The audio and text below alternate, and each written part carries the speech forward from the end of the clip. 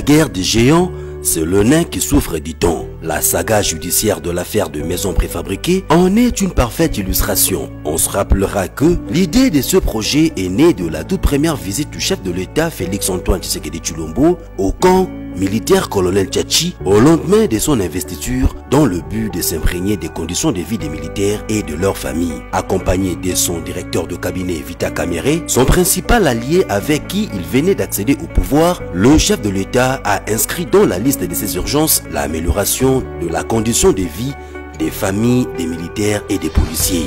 Pour matérialiser cette promesse, non seulement l'école du camp Tchachi fut réhabilité, mais aussi l'hôpital militaire du camp s'est vu rénové et agrandi avec l'ajout des nouveaux bâtiments. Soucieux de réussir à faire vivre ses rêves au lendemain de la réhabilitation de l'école et de l'hôpital du camp pour apporter une solution aux problèmes sérieux de logement dont souffrent les familles de nos voyants soldats, tous les volets habitat du programme de 100 jours a été orienté vers les militaires et les policiers. Il a fallu se mettre d'accord sur la manière rapide qui pouvait être utilisée pour avoir un résultat durable dans le plus bref délai. La saga du procès de son jour diffusée sur la télévision nationale congolaise nous a tous édifié suffisamment sur comment Vita Kamere, muni d'un grand souci d'améliorer les conditions de vie des familles des militaires et des policiers, mission lui confiée par le chef de l'État, s'est retrouvé embourbé dans un engrenage qui s'est décidé avant toute chose de le broyer sans se soucier des conséquences néfastes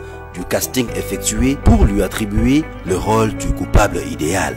Pendant que le procès bien monté était fait pour condamner les coupables présélectionnés, l'opinion détournait de plus en plus son attention loin de l'essentiel à retenir de ce procès. Ne perdons pas à l'esprit que L'objectif initial de l'exécution du projet d'érection des maisons préfabriquées était d'améliorer les conditions de vie des militaires et des policiers et que, pour ce faire, 57 millions de dollars ont été déjà dépensés par le Trésor public pour payer la commande des 1500 maisons préfabriquées chez l'homme d'affaires libanais Sami Oubala Jamal, qu'il a reconnu à plusieurs reprises au cours de l'instruction en première instance. J'ai pris de ce projet, tu me comprends, depuis 2017 à la fin de septembre. Je vais commencer à commander les marchandises avant de recevoir aucune rond, parce que j'ai confiance en mon pays. Mais, vous connaissez les journalistes, grand respect pour les journalistes, ils ont commencé à parler à gauche, à droite, ils ont commencé à dire, Monsieur Jamal, il a touché l'argent, il a fui à gauche, à droite. Nous avons 180 conteneurs nous avons 300 maisons pour, pour Kinshasa. Nous avons 300 maisons pour Bakongo. Nous avons 300 encore pour Kivu. Nous avons 300 maisons pour Kananga. Nous avons 300 maisons encore pour euh, Boujmaï. Ces deux faits ont attiré notre attention en ce moment où ce procès est en appel pour tenter de réparer l'imbroglio mis en place par une instruction malmenée en première instance ayant débouché sur un jugement bâclé et parodique, il y a lieu de se poser quelques questions.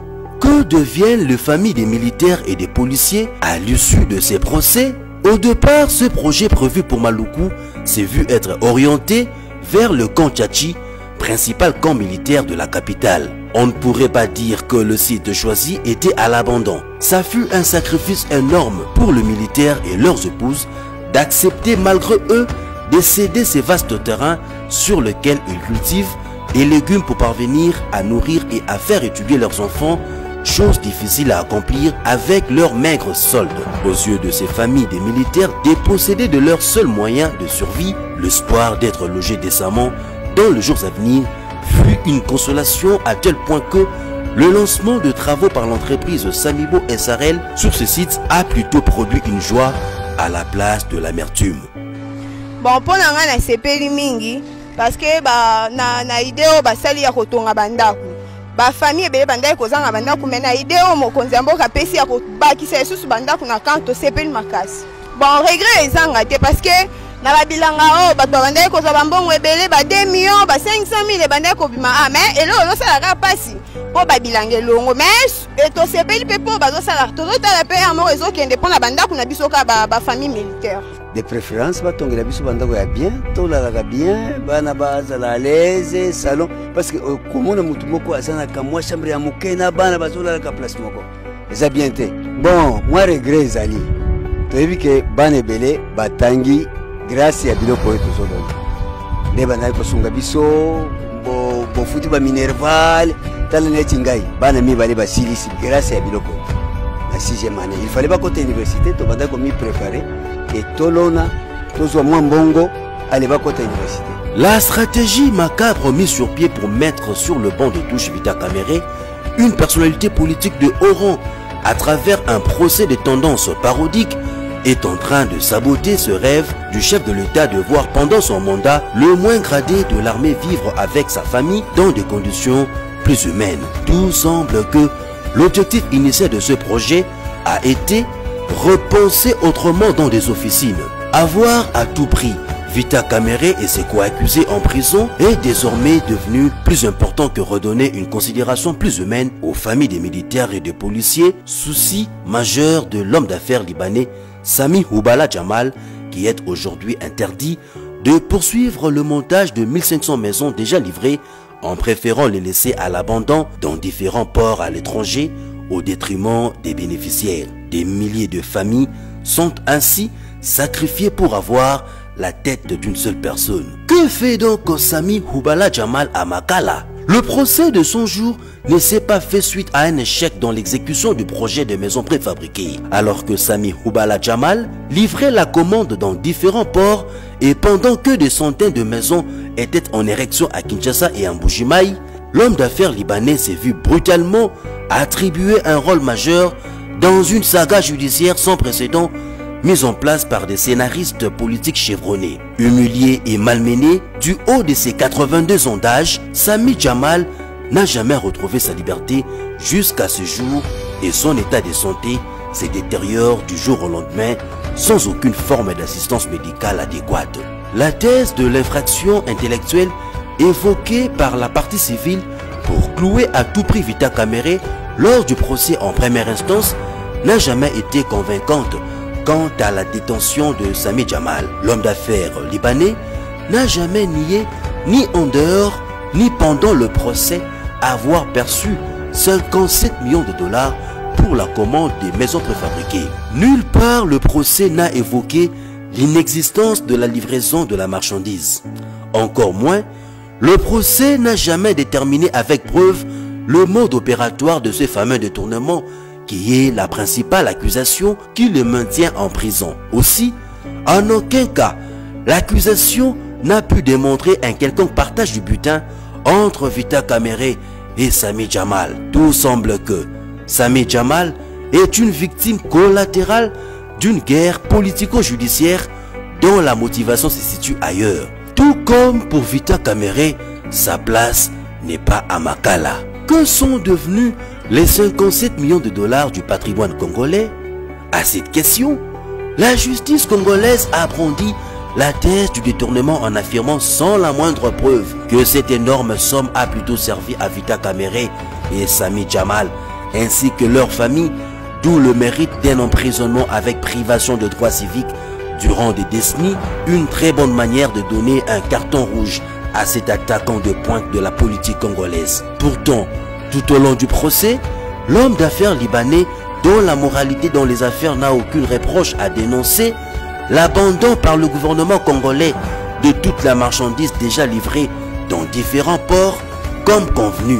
Les différentes correspondances d'alerte émises par l'homme d'affaires sont restées sans réponse. En ce jour, les différents belles brandis par la société Samibo et Ousmal de l'homme d'affaires libanais renseignent bien que des centaines de conteneurs, des marchandises valant des millions de dollars sont à l'abandon dans le port de Lobito en Angola, le port de Dar es Salaam en Tanzanie, voire même dans le port de Matadi et plusieurs avertissements de vente aux enchères ont déjà été lancés par les différentes administrations portuaires en cas de la persistance de leur enlèvement. Avec l'arrêt de travaux à Kinshasa et à Mbujimaï, ainsi que la confiscation de comptes des entreprises Samibo et Ousmal, suite à une décision judiciaire, beaucoup d'autres matériels valant des millions de dollars sont à l'abandon, soit à ciel ouvert, sur des chantiers inachevés, soit dans des entrepôts.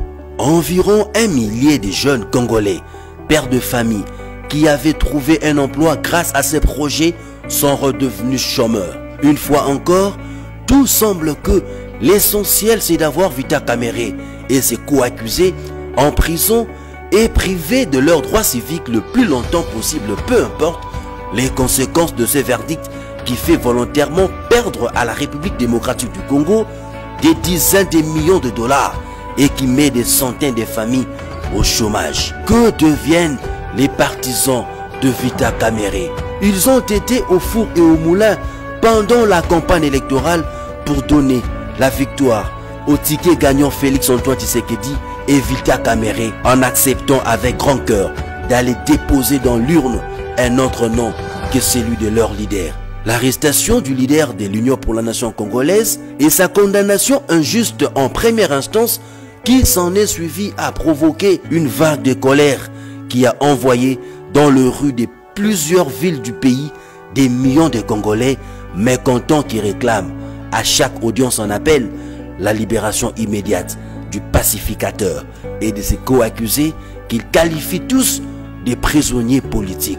C'est sans doute un sentiment de trahison qui motive cette thèse en voyant leur leader être d'une manière cavalière écarté de la coalition au pouvoir. Certainement, le procès de son jour a été le plus suivi de l'histoire de la République démocratique du Congo et son verdict semble avoir été conçu pour laminer un grand leader politique. C'est bien évidemment en sacrifiant en holocauste les intérêts des Congolais et en faisant malheureusement plusieurs autres victimes collatérales. Ce procès n'est pas en train de donner aux familles des militaires et des policiers leur maison, il est plutôt en train de leur arracher ce rêve.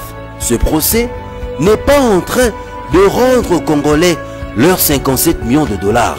Il est plutôt en train de leur faire perdre leurs millions en marchandises abandonnées. Ce procès a certainement donné du travail juteux à quelques juges et avocats, mais il a rendu beaucoup de familles chômeurs. Ce procès détient Vita Kamere et ses co-accusés en prison, mais n'a pas mis à genoux des millions de Congolais qui croient en leur innocence.